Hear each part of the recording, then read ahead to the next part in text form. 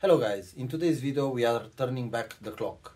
We're gonna take the hard drive from my old laptop and we're gonna transplant it in my new machine. That way we're gonna increase the capacity, the memory capacity, and as well I'm gonna have a backup drive. If you love DIY adventures, stick around. Don't forget to subscribe and let's dive in in this upgrade together. The donor is this laptop, this Acer V3 uh, Uh, it's a 371 series. I bought it in 2014, so that was long, long time ago. And unfortunately, it's out of date completely. I've tried to use Linux on it, Windows. It's it takes an eternity even to load. So I don't want to destroy it. I don't want to throw it away. And as a result, I'm gonna take the hard drive and I'm gonna use it as a backup drive in my new computer. Plus, this puppy has a one terabyte hard drive. If you want to do this with your PC or with your laptop, remember to back up your data. What we need, it's a screwdriver and that's it. Let's take all the screws out.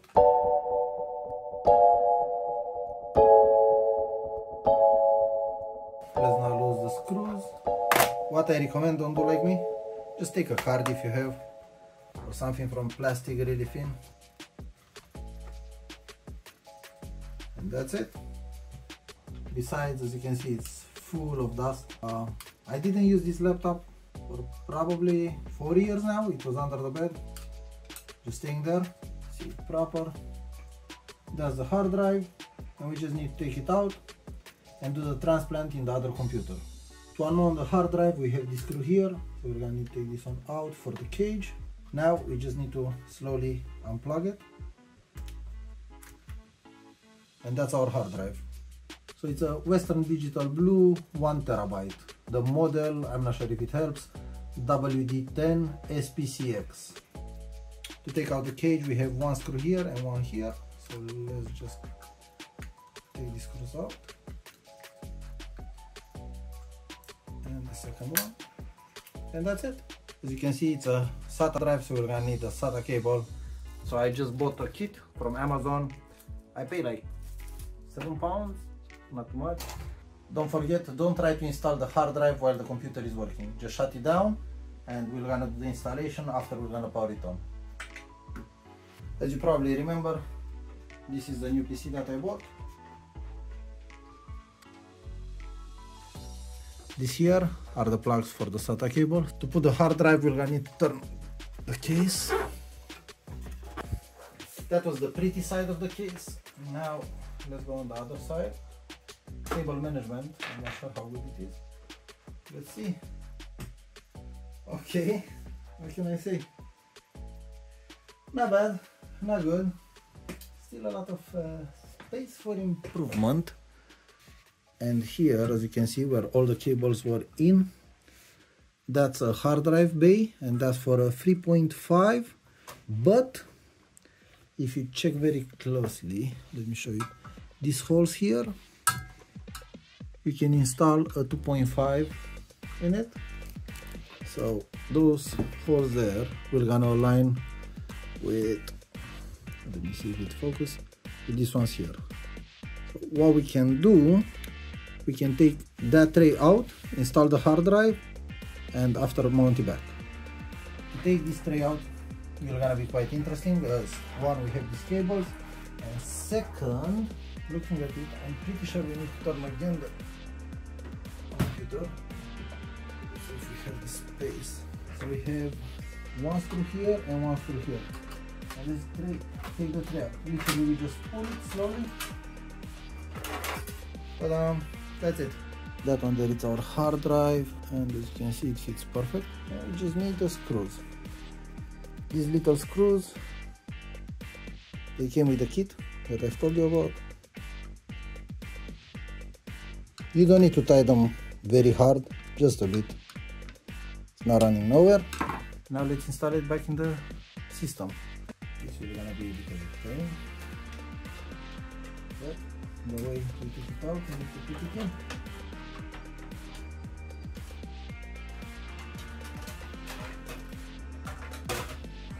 That's it. Now what we need to do just arrange that. Yeah, it's perfect next step I'm gonna put the screws back. What we can do is use we're gonna use this one for the hard drive we can use. To be honest we can use any of them but we're just gonna use this one so we can check all the cables here. As you probably can see it has a L shape so it's kind of impossible to plug it in the wrong direction or to mess it up. And let's do it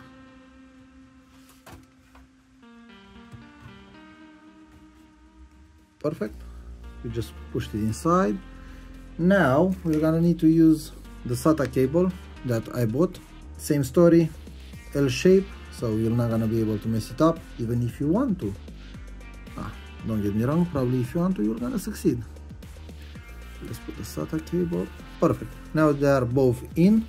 What we're gonna need to do now with the other part we're gonna need to connect to the motherboard.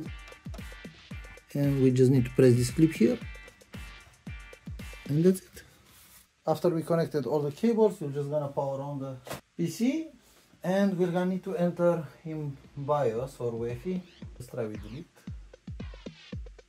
and we are in BIOS. If we go to settings and system status we're gonna see on SATA port 6 we have the Western Digital hard drive. So it's recognized now let's enter in Windows and format the drive. This here, new volume E is the new drive. What we need to do is go in search and write create and format disk. If you want to format um, the drive or I don't know, delete everything, the easiest way is click right and we have delete volume it informs us that if we're gonna delete the volume, we're gonna lose all the information. That's not a problem, let's go for it. After we deleted the partition, it disappeared from here, so you don't need to panic. We're gonna have here unallocated. Click right on it, new simple volume, and it will gonna take us step by step. Next, here it will gonna show us the maximum amount of megabytes assign the following drive letter. We're gonna leave E as we have already C and D. So we can leave E, we go next, and here it shows us uh, how to format the drive. And as we are using Windows, we're gonna leave NTFS, and I'm gonna leave it perform a quick format. If you want full format, just unclick it, but for one uh, terabyte, I think it took almost two and a half hours if I remember well. Yeah, approximately two and a half hours. So we're just gonna perform a quick format, next, and here we're just gonna click finish. Here it shows us the formatting and it's already done. As you can see, we have new volume E, that's 930 gigs. So that's the old New drive already installed and ready to be used. Now I've just selected one file for my NVMe SSD and we're gonna copy it here. Let's see the speed.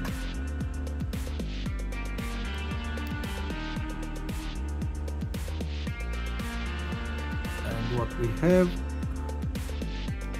so we had a spike of 160 megabytes per second, but the average is approximately 100 megabytes, 95, 100 megabytes. If you want to do a short health check on your drive, what we can do, we can just go in command prompt. This, uh, if you don't know the drive, I would recommend to do it before and to be honest, I would recommend you to use like specialized tools or programs. And here we are writing WMIC disk drive get model status. And we just hit enter.